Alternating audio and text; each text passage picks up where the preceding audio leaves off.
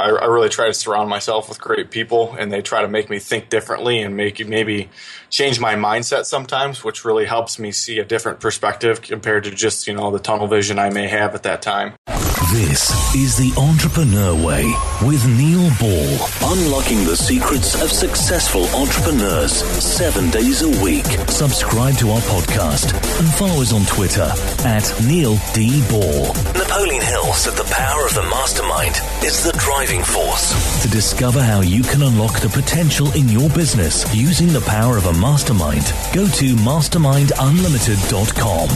And now, here is your host, Neil Ball. Hello, it's Neil Ball. Thank you so much for joining me today on the Entrepreneur Way. The Entrepreneur Way is about the entrepreneur's journey, the vision, the mindset, the commitment, the sacrifice, failures, and successes. I'm so excited to bring you our special guest today, Michael Oberdick. But before I introduce you to him, I have a quote from Tony Robbins for you. He says successful people ask better questions and as a result, they get better answers. The entrepreneur way asks the questions so we all get the insight, inspiration and ideas to apply in our businesses. Michael, welcome to the show. Are you ready to share your version of the entrepreneur way with us? Yes, I am. Michael Oberdick is an entrepreneur, a fitness junkie, an Apple enthusiast who just over two years ago lost his job and his grandfather and a relationship. And then he was let go by Verizon Wireless. After being kicked around by life, he decided to take a second run at owning a business. He started a business selling and repairing Apple devices. That was two years ago. He now operates two retail storefronts and a large e-commerce business called Apple Outlet. Michael, can you provide us with some more insight into your business and personal life to allow us to get to know more about what you do and who you are?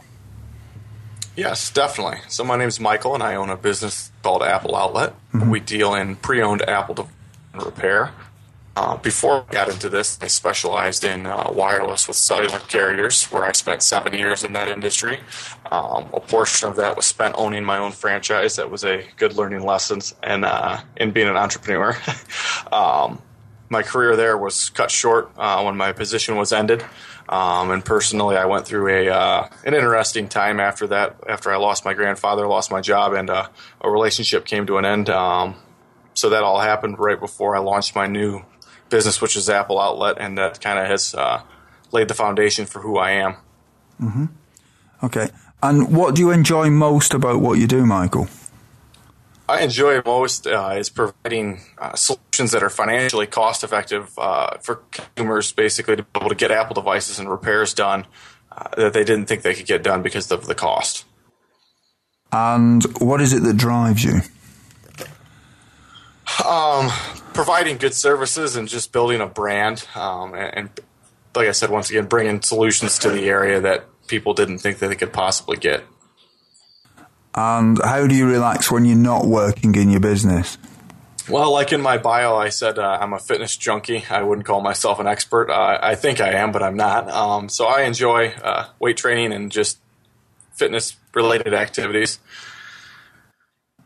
And do you have any entrepreneurial role models? Uh, my main role model would be my father, who's an entrepreneur and owns a business. But I also follow uh, Gary Vaynerchuk and Grant Cardone very heavily. Yeah. Have you read Grant's books as well? Yeah, I, I, and Gary's. They both got books. Yeah. yeah, I've read a lot of Gary's books, and I've read uh, I've read one of Grant's, and I'm on the 10x rule right now. Oh yeah, so that's the goal, is it? yeah. So, can we just talk about the time before you were an entrepreneur? Yeah. Yeah. What difficulties did you have to overcome to start when you started your business? Um, well, I had personal issues at the time, which was the main battle, but the other time was trying to decide if um, running an online business or a retail location was a better decision, and I ended up doing both. yeah. Okay, so you use online to drive people into your into your retail premises. Is that what you do? Right. We were originally formed out of my bedroom, focusing on online sales, so I didn't have to have a, a retail storefront. Um, but when I outgrew that, I decided to get a retail storefront and do online sales at the same time. Okay, that's great. And did you have any doubts that s- delayed you starting your business? Oh yes, multiple times I didn't know if it was going to make it or not. Yeah. um, there, there, was a lot of times where I didn't know if uh, the things I was doing or the way I was going about it was correct because there was there was no foundation or game plan laid for me that said this is how you're supposed to be successful. And what mistakes did you make that slowed your journey? Um, I uh, oh man, where do I start? uh, there's lots of those. I, still learn lessons every single day. Um, the biggest mistakes I, I guess I made were um, maybe getting a tad uh, quick on the trigger on uh, moving into retail locations. I wish I may have stayed in uh, online a little bit longer. Um, and I guess uh, just learning how to buy inventory correctly was my biggest mistakes that I made. Was I uh, I had to learn by spending too much money sometimes that uh, that wasn't the correct inventory and parts to buy. And what are some of the things that you did before you started your business that would be helpful tips to some of the listeners who haven't yet taken their first step on the entrepreneur way? Uh, well, be able to accept failure because that's going to probably come on a daily basis for you. you just have to decide which failures are big ones and which ones are little ones. Um, I mean, the biggest thing about being an entrepreneur, in my opinion, is just the uh, the mental the mental portion of it. Is it can you take you know the mental issues and constraints and pressure it's going to put on yourself. Um, so you, you, need to be able to be prepared for that. And uh, the biggest way to do that is just by reaching out to other entrepreneurs or listening to your podcast or looking at YouTube videos of entrepreneurs and trying to understand if that's something that you could really you know deal with on a daily basis. Mm. Nick, can we just talk a little bit about your entrepreneurial journey now and some of the things that about that. So, can you talk? Can you let us know uh, what your opinions are on whether culture is important from the beginning in a business? I think that culture is is the biggest portion of your business. Period. Um, I've always been a firm believer in that, and I mean the culture is can be constrained in different ways or uh, you know told in different ways but uh, especially if you have employees your, the culture of your business has to be you know absolutely great mm-hmm. um, but also portrayed to your customers you have to have a great culture and provide them with you know something that's comfortable and something that they like. You know, the service and products that you bring to them has to be excellent. Mm-hmm. Um, you know, you could have the greatest products and services in the world, and if your your business, your place of business, or your culture of your business isn't good, uh, they may not feel comfortable spending their hard earned money, you know, with your business. Mm-hmm. So, how do you how how have you actually set up the culture in your business? Uh, well, our motto is everyone gets treated like family, and that's yeah. what's hard to find in the technology industry. Is you know it, it's hard to get uh, somebody that will actually sit down and help you understand the technology that you're buying. Um, so we do things on a monthly basis. We have free free training sessions. We have one on one training sessions. We have a uh, retired school teacher who actually works for us who does training sessions to help people understand the products that they're buying or the products that they already have. Mm-hmm. Um, and that's one of the main things is, you know, we just, we try to set that comfort level of we're not just going to sell you something and let you walk out the door and not how to know how to use it.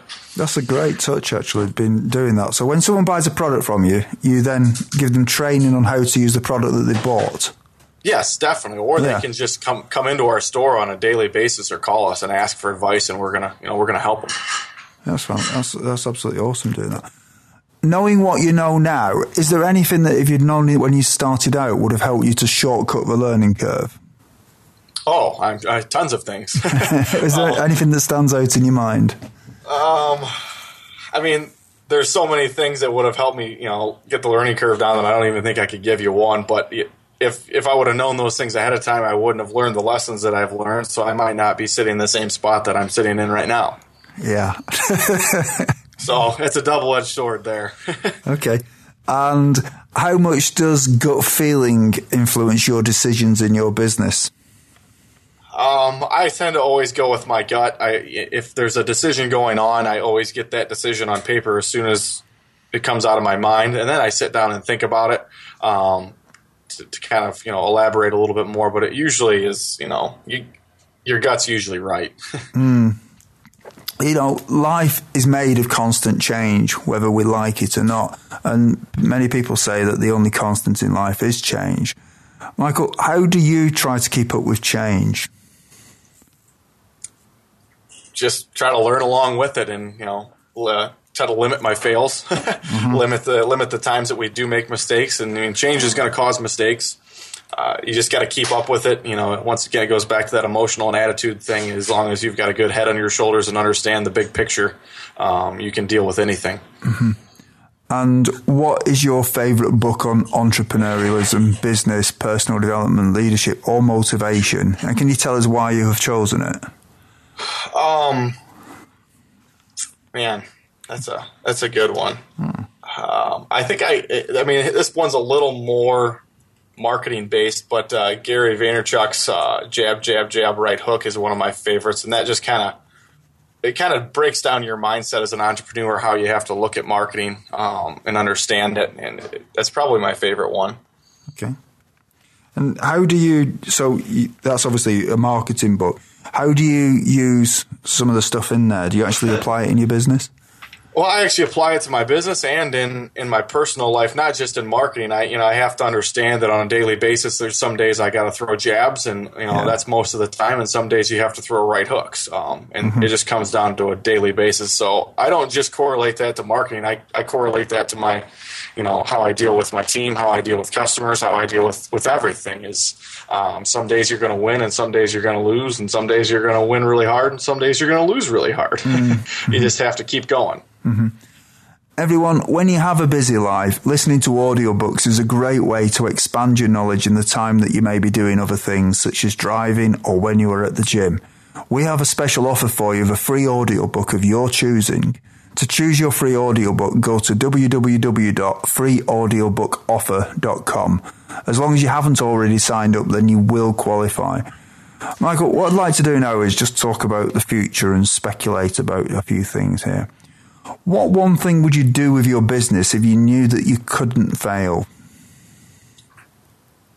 Continue to expand. yeah. yeah, I suppose that's. I mean, that's that's an easy one. I, if I knew I wasn't going to fail, I would, you know, I would expand to the biggest level I could get to. Okay. And what skill, if you were excellent at it, would help you the most to double your business? Hmm. Um, man, I guess uh, understanding what is important. Sometimes I, I, have to align my days and my mindset and my business around what's important, and I sometimes don't always do that the best. Mm-hmm. In five years from now, if a well known business publication was publishing an article on your business after talking to your customers and suppliers, what would you like it to say? That Michael and his business truly cares about the customers and the well being of themselves, their devices, and their financial stability. Mm-hmm. Okay. Thank you for that. Um, we're now at the part of the show where you share three golden nuggets with us. So, Michael, what is your favorite quote and how have you applied it? Um, hmm. My favorite quote is probably whatever you do in life, surround yourself with smart people who argue with you. It's by John Wooden. Mm-hmm. Um, and I think that that's, you know, I, I, really try to surround myself with great people and they try to make me think differently and make maybe change my mindset sometimes, which really helps me see a different perspective compared to just, you know, the tunnel vision I may have at that time. Mm-hmm. And do you have any favorite online resources that you could share with us? Uh, I use Udemy, uh, Udemy online classes for lots of things. Mm-hmm. Okay. And what is your best advice to other entrepreneurs? If you do good business, business will do good to you. Okay, that's a, a nice philosophy. If you, if, if you do if you do the right thing day in and day out, your business will at some point come for full circle, hopefully for you, and do good things for you. Mm-hmm. Kind of a kind of a karma yeah. effect. Yeah. Everyone, if you didn't manage to get a note of Michael's favourite resource or his favourite books, then you can find the links on Michael's show notes page. Just go to the and search for Michael or Michael Oberdick in the search box. Michael, is there anything else that you'd like to add about your business? Not that I can think of. Okay. It's been an honour having you on the show, Michael. Thank you for sharing your insights and your wisdom about being an entrepreneur. And, and thank you. Thank you, Neil. You're welcome. Thank you for listening to The Entrepreneur Way. Subscribe to our podcast and follow us on Twitter at Neil D. Ball.